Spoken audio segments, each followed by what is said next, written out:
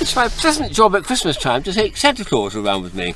He's on board and I've got to do my practicing for the Christmas season. In addition, I seem to have another job though. I've possibly a royal chauffeur. I think you will find I am and now I have become a royal chauffeur.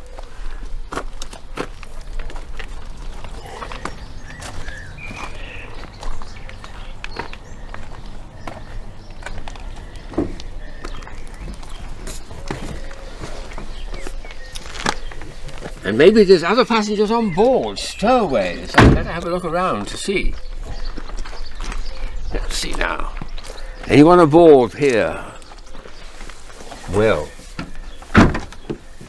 Up she goes. oh, Binky, you little devil. How on earth did you get in there? Bother you. Huh. Stop winking.